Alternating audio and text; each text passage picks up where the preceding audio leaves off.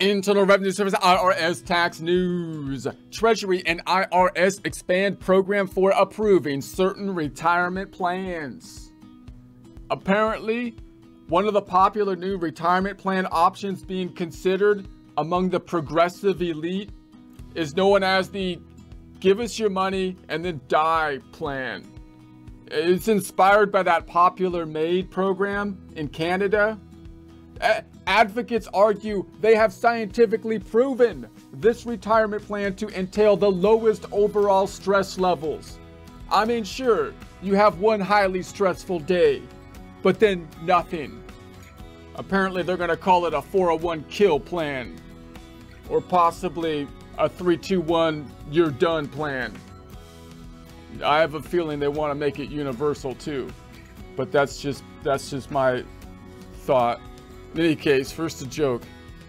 I was offered a Snickers bar for Halloween, but had to turn it down because currently, due to all the craziness these days, I already snicker way too much. Fine. Whatever do you mean?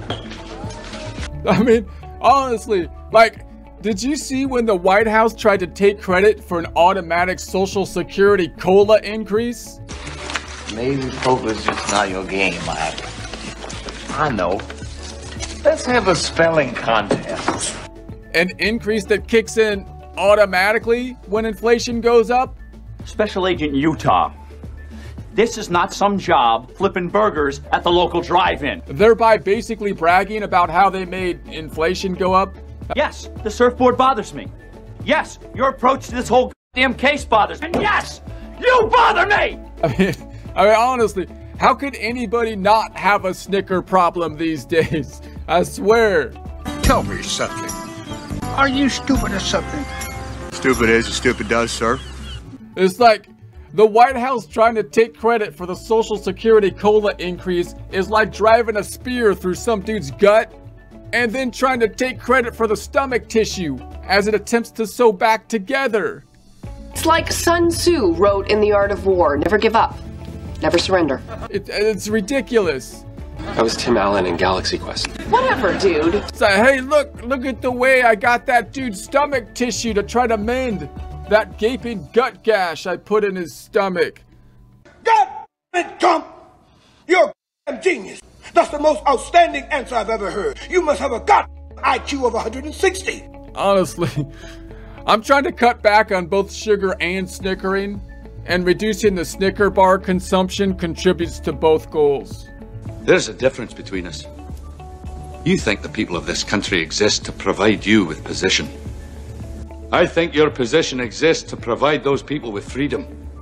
IR 2022-196, November 7, 2022, Washington. The Treasury Department and Internal Revenue Service today announced the expansion of one of their programs for approving retirement plans. The IRS will now allow 403B retirement plans, which are used by certain public schools, churches, and charities to use the same individually designed uh, retirement plan determination letter program currently used by qualified retirement plans. Revenue Procedure 2022-40, there's a link to that here, details this expansion and includes other changes affecting uh, individually designed retirement plans.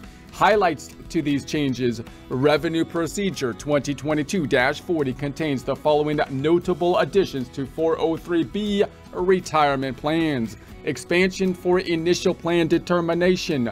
Beginning June 1st, 2023, 403B retirement plan sponsors may submit determination letter applications for all initial individually des- designed retirement plans based on the sponsor's employer identification number. For further details, you can see section 12 of Revenue Procedure 2022-40. There's a link to that here. Terminations. Beginning June 1st, 2023, 403B retirement plan sponsors may also request a determination letter upon plan termination on a Form 5310 application for determination of termination plan. I like that name. Uh, it's a determination for termination, please. Form 5310. There's a link to that here. or at any time thereafter without regard to their EIN. Uh, so then we got the notable changes to pr uh, procedures for submitting and processing individually designed retirement plans include prior letter issued to a pre-approved plan adopter not treated as an initial plan determination.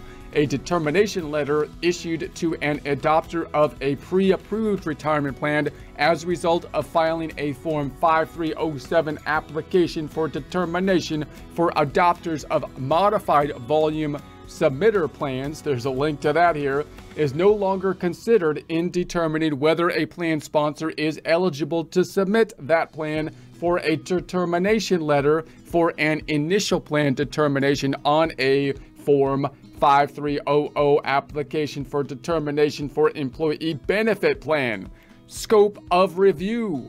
IRS generally will consider in, in its review qualification requirements and Section 403 requirements that are in effect or that have been included on a requirement amendments list on or before the last day of the second calendar year preceding the year in which the determination letter application is submitted, subject to any special modifications on the annual employee plans or revenue procedure that provides the administrative and procedural rules for submitting determination letter applications currently revenue procedure 2022-4 there's a link to that here these rules will apply to submission of all individually designed retirement plans. Revenue Procedure 2023-4 currently in development will be released in the near future and will contain additional changes to procedural requirements for plan submissions such as phase-in mandatory e-submission of determination letter requests. Form 5300 and 5310 will also be updated to reflect these changes. So I hope you got all that. but if you didn't, then you can go back in here, check it out again, and look at these, uh, look at all the links that we said there were links to and whatnot. And there'll be a link to this in the description.